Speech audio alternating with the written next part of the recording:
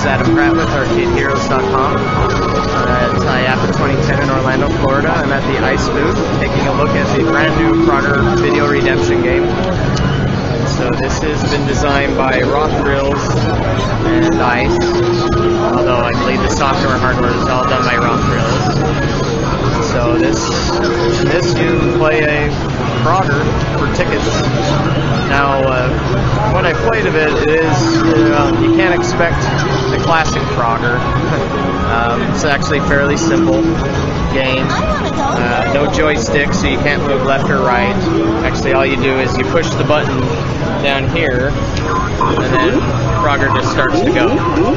So you don't do anything else after that. You just have to hope that he makes it all the way to the top where you have the 1000.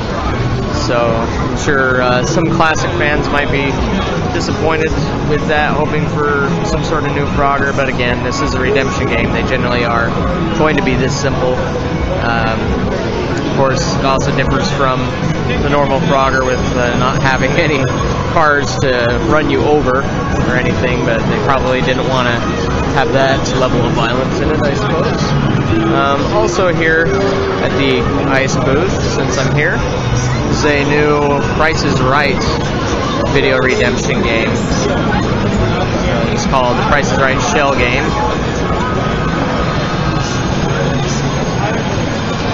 So I haven't tried it myself, so we can take a look here. Congratulations! just uh,